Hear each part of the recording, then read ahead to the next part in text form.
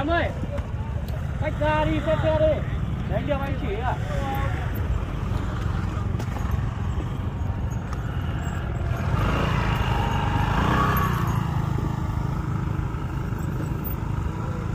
Vâng, ờ, quý vị các bạn thân mến là mình đang có mặt ở trong uh, khu vực quân đội ở triển lãm uh, quân đội rồi. Ở trong ngày hôm nay hiện tại là đang uh, rất đông.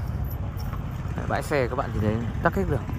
Các đồng chí à, bên à, bộ đội đang làm hết sức đảm bảo an toàn cũng như là trông bãi xe.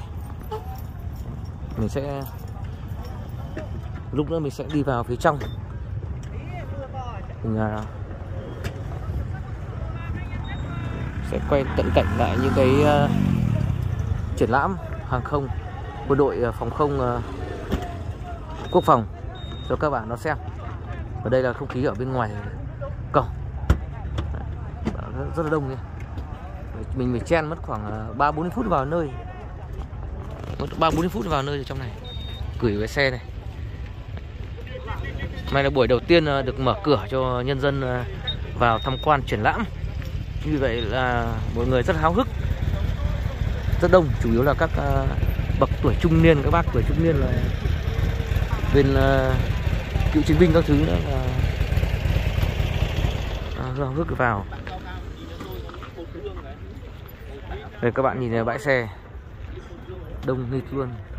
Đây các bạn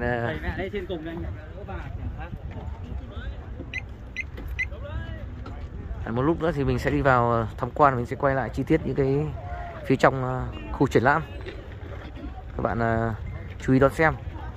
Hãy đăng ký kênh cũng như là like để đón nhận cái video sớm nhất. Đây là phía ngoài cổng các bạn nhé. Bãi xe